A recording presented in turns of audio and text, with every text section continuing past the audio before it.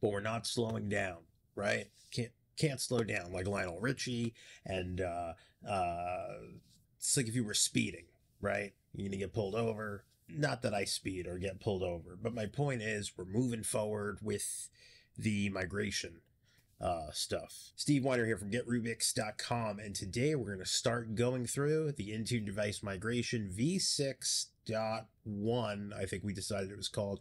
We're going to start going through the components of it, starting with the settings JSON and the main uh, start migrate PowerShell script. Um, and we're going to keep doing the deep dives of these because people seem to like them. So, yeah, we're not slowing down for anything. I almost said nothing, but that's a double negative.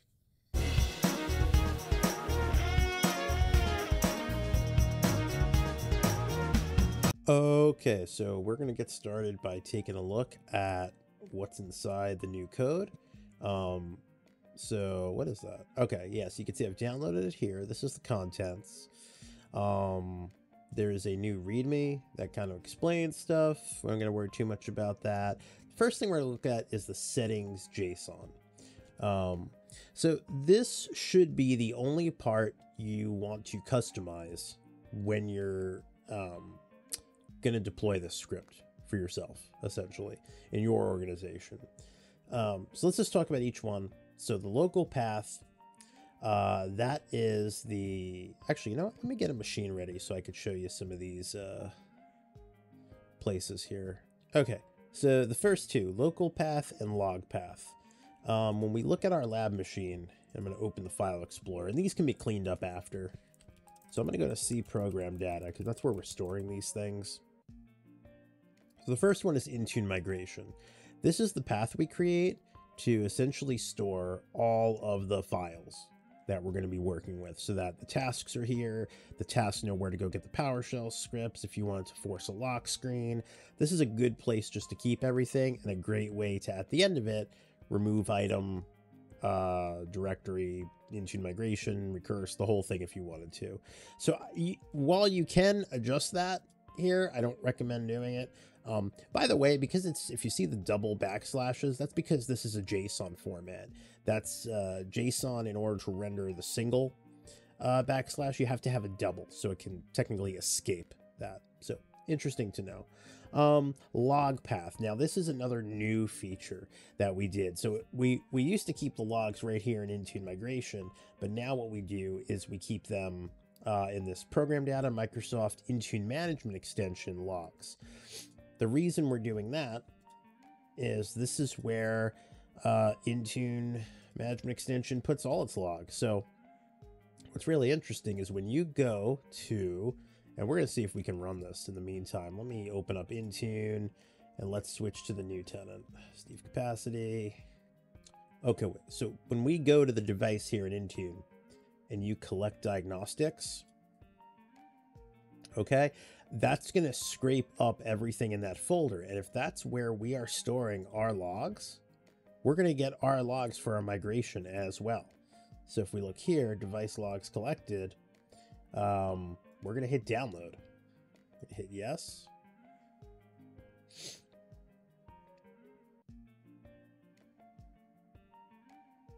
Any day now. Thank you. We'll extract take a quick look. So let's go to management logs and look at this. We have our start migrate log.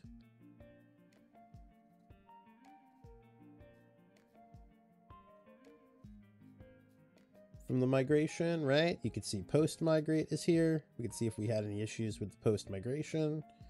No, new profile. So this makes log collection so much easier, especially if you're not in a position where you can get to the device. Having them locally only goes so far.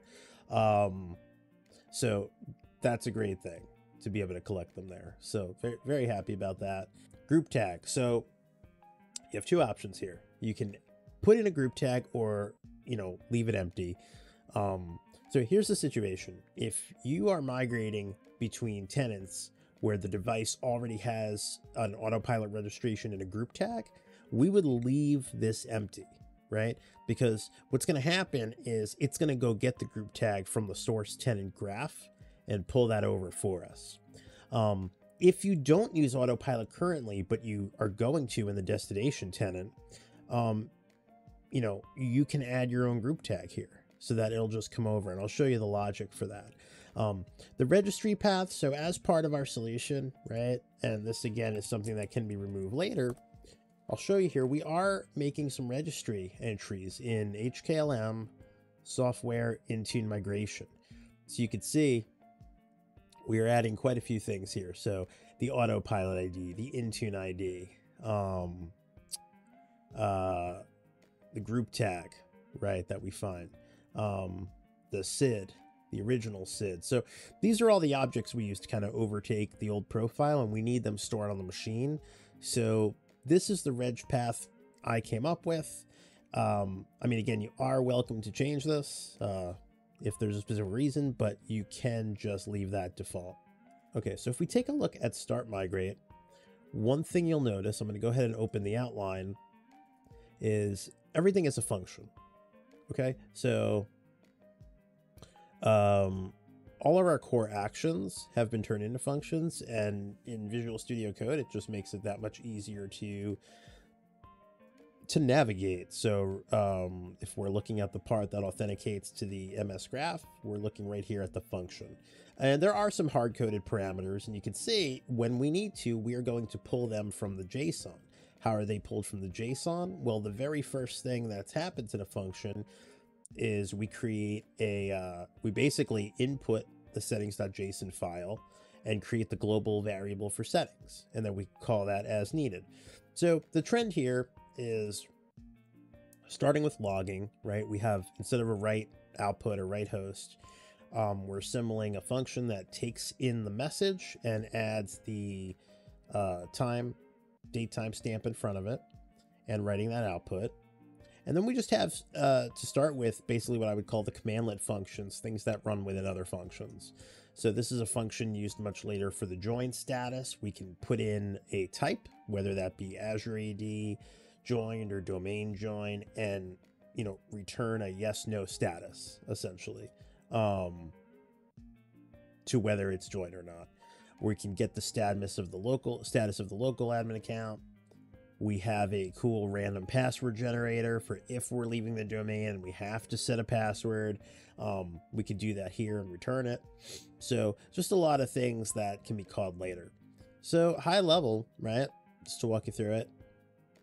Um, we are getting the uh, settings, right, in the JSON, like I said. And then to start off, everything we would normally do, right? Check our context, put the install flag for Intune. That's where we're doing an initialize script. So initialize script, we're taking in some of the settings variables of local path and log path. Um, we're declaring our log name, we're declaring our install tag, and we're starting the transcript. And uh, it's basically when we need to return something or when we need to declare a local when we need to declare one of these variables in function as a global variable, we're just going to go ahead and pass the global command, uh, global line to the variable to define it. So we can interact with it in another function. So for example, down here in copy package files, um, our destination is the local path. So we, we don't have to call the settings again. We could just pass local path in. And um, because it's been declared as a global variable, we're pulling it into that function, right? Um, one important piece to note is that whether it's Intune or because we're running a system or the context, whenever we are referring to the iterative relative path of the script, we want to declare PS script root as opposed to dot backslash. Um, I've gotten questions about that prior, but um, you know, I don't really know the reason. I just know that it tends to not work when you're just dot backslashing, especially up here in the settings, right? When we are ingesting the JSON, uh, that was a big problem we had in testing. So that needs to be PS script root. Because probably the, the other important function to get device graph info. So once we have the local device info, we have to use that to query the graph, um, to, to get the objects we're going to need to remove from the old tenant. So uh, some hard-coded variables here. Some, like the reg path and group tag, we're pulling right from the uh, settings JSON. Uh, host name and serial number come from device info. The Intune and autopilot URIs, I'm just hard coding up here uh, so we can make those calls. And then what we do is we basically attempt to get the Intune object and we're checking it. Now, the graph is interesting because we can't necessarily check if the value is null or not. It doesn't always come back with a consistent result. So depending on the object um, we're getting back, we simply check the OData count, right? There should be one. Basically, when we pull the object back, it should have one value relative to the object we're pulling, and that's where we're getting that equals one. So if it's there, great, we're going to set the Intune ID. If not, we're just going to say failed to get that object. For group tag, right? If group tag came in as null or empty, meaning if we didn't set it, then we're going to attempt to get it from the autopilot object, right? Group tag equals autopilot value dot object. We're just going to take it as is, and we're going to build the global uh, device graph info variable. And for each thing in there, we are going to set that information to the registry. So that's how that all gets set in here. Autopilot ID, Intune ID, and group tag. They get set there by iterating through um, our global uh, build. Now, without going through every function, I'm going to kind of scroll down here. So these are all set, but you'll notice they're not called. So that's what the second half of the script does. So the second half of the script uh, basically says, okay, for each thing here, each function, we're going to try to do it. Um, if the function succeeds, great. We're going to call our log function and we're going to pipe out retrieve settings JSON. I'm probably going to change this to function get settings JSON success or failed so we know it's the function, not the output. Um, but I didn't get there yet. Um, the issue right now, so the way we're handling this now, and again, this is always a work in progress. If something is critical, for example, getting the settings JSON, that is a critical function. The script should not continue. If it catches with an error and we can't run it, we are going to exit the script with an exit one. This is fine for start migrate, but in later functions, um, it could be problematic. If we encounter a critical error during one of the middle boots, you're essentially stuck with a device you can't do anything with. So one of the upcoming features we're working on is having an error, uh, basically an exit function. So if you catch a critical function, instead of exiting one, we're going to run another function that will reboot the device, make sure the local uh, logon provider is enabled, so you could just log in with an emergency account, you know, and do it that way.